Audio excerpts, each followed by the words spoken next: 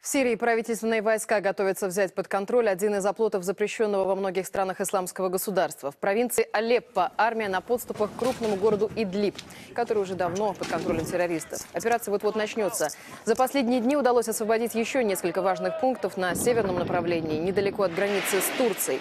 Для сирийских войск одна из задач – перекрыть каналы, по которым, как считает разведка, с территории соседней страны везут в ИГИЛ оружие и новых боевиков. Успехи сирийских войск во многом стали возможны благодаря поддержке российской авиации. Есть и еще одна сила, способная противостоять террористам до полной их ликвидации в Сирии. Это люди, которые борются за земли, где родились и выросли. Как готовят добровольцев в Латаке, увидел Александр Батухов. Когда в Сирии началась война, эту недостроенную автомастерскую отдали военным.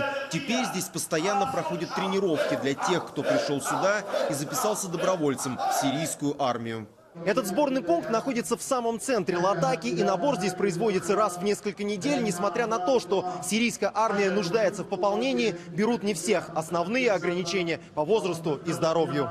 После проведения очередного набора в эту школу подготовки записали 150 добровольцев и около 30 человек отсеяли. Не брали тех, кому больше 60 лет. Риясу Филяху, ему 59, тоже сначала хотели отказать, но он настоял на своем.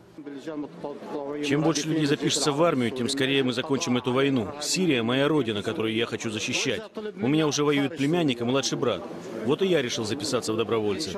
Хусаму и Дину чуть больше 30 лет. По профессии он инженер, работал в городской управе. Говорит, что до подготовки в этой школе оружие никогда в руках не держал. Последние месяцы на фронте многое изменилось. Раньше мы только отступали и оборонялись, а теперь наша армия освобождает все новые и новые города. Я решил, хватит отсиживаться за конторским столом. Я ведь тоже могу приносить пользу. Так сейчас думают многие в Сирии, поэтому желающих записаться в армию стало гораздо больше. И если раньше после объявления о новом наборе требовались недели, чтобы собрать необходимое количество добровольцев, то теперь лишь несколько дней.